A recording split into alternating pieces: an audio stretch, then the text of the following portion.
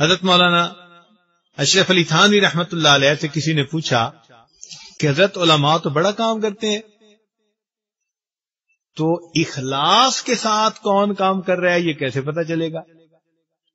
तो हज़रत ने फरमाया कि भाई, जब कोई दीन का काम कर रहा हो और वो देखे कि कोई और भी दीन का काम कर रहा है तो वो अपने दिल में ये सोचे कि इस भाई ने इस काम में हिस्सा लेकर मेरा बोझ इसने जो है वो हल्का कर दिया। चुनाचे हुआ क्या? जामिया शर्फिया बनाया हज़रत मुफ्ती मोहम्मद हसन रहमतुल्लाह ने। ये हज़रत थानवी रहमतुल्लाह के अज्जल खलीफा थे।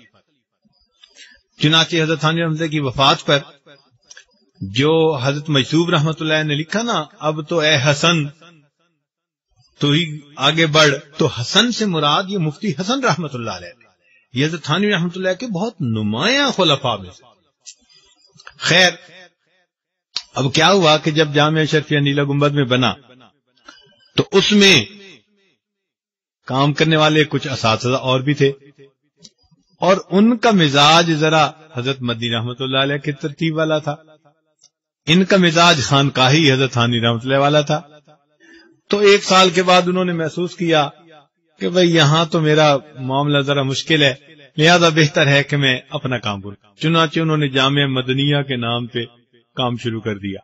और काम भी कहा? उसी मोहल्ले में, मकान किराए पे लेकर। अब इधर जामिया अशरफिया और उसी गली में दूसरी तरफ़ जामिया मदनिया। शुरू हो गया काम। तो हज़रत मौलाना फजल रहीम, दामद बरकत हम जो जामिया के माशाल्लाह नायब मोहतमिम के दर्जे के लोग हैं, उन्होंने ये वाक्य खुद सुनाया। कहने लगे कि हम उस वक्त बच्चे थे, जब हमें पता चला ना कि हमारे मदरसे के उस्ताद और नया मदरसा और मदरसा भी उसी गली में। तो कहने बड़ा गुस्सा आया। मैं अबू जी के पास गया और मैंने कहा, देखा अबू जी, क्या हाल है इन लोगों का? मदरसा भी बनाना था तो भाई कहीं और बना लेते। उसी महल्ले, उसी गली में। तो अब्बा जी ने पूछा कि बेटे कहाँ जा रहे हो? मैंने कहा कि अबू जी अम्मा ने ये काम जिम्मे लगाया है, काम करने जा रहा हूँ।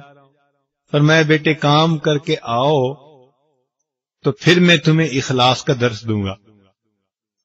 कहने लगे, मैं काम करके वापस आया। मैंने कहा कि अब्बा जी अब बताएँ। कहने लगे, अब्बा जी ने मुझे बिठा लिया।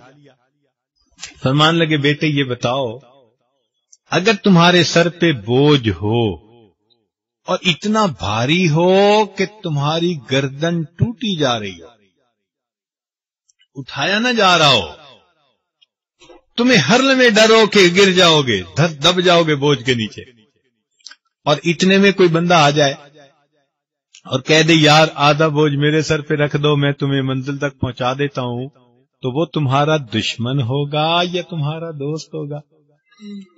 कहने लगे, मैंने कहा कि अबू जी, वो तो दोस्त होगा जो मंजिल तक बोझ पहुंचाएगा। फरमाया कि बेटे, मामला ऐसा ही है। पहले हमारा ये मदरसा पूरे लाहौर शहर में एक किताबी मदरसा था। तो पूरे शहर की मसूलियत का बोझ हमारे सर पे था। अब वो भी मदरसा बन गया। मसूलियत का बोझ तकसीम हो गया तो वो हमारे मोहसिन हैं या हमारे दुश्मन हैं? कहने लगे, मैंने कहा, अबू, इस तरह तो वो हमारे मोहसिन बनते हैं। फरमाया, मैं भी यही सोचता हूँ कि उन्होंने मदरसा बनाकर हमारे ऊपर एहसान किया है। ये मुखलिस लोग होते हैं।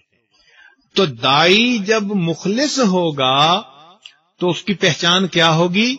कि दीन के दूसरे शोबों में काम करने वालों का एहसान मंद होगा।